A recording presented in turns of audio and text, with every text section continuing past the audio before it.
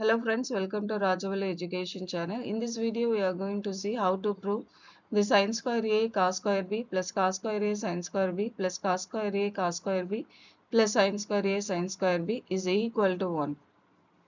First, we consider the left hand side value. Here, the first term is keeping as it is. Then bringing this last term as the second term and the rest of the two terms are kept as it is.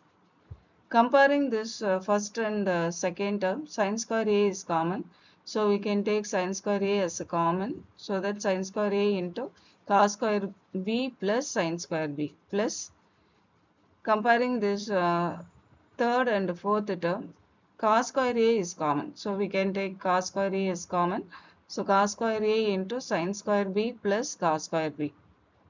Next, we have to use one of the trigonometric identity that is uh, sin square theta plus cos square theta is equal to 1. So, we can take uh, this value as 1 because here theta is same. So, cos square theta plus sin square theta equal to 1.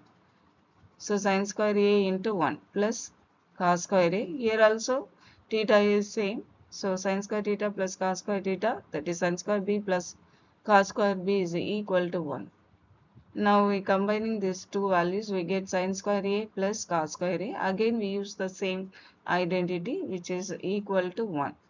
So LH is equal to 1. What is the right hand side value here? Here it is 1.